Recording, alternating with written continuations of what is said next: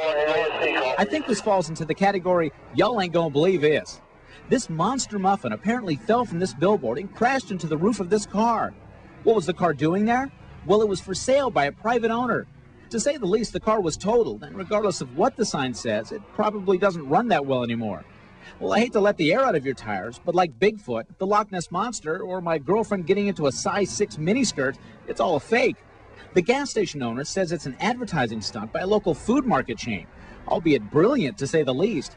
So, unlike my friends in high school, that's one bun in the oven no one has to worry about. On the road, I'm Cam Man, Ron Lee, WBTV News 3. Oh, someone's not, in trouble. Not tonight. the girlfriend anymore. No. Gas station manager says cars become such an attraction, but if you want to see it, you got to hurry. You have till the weekend until they tow it away. He is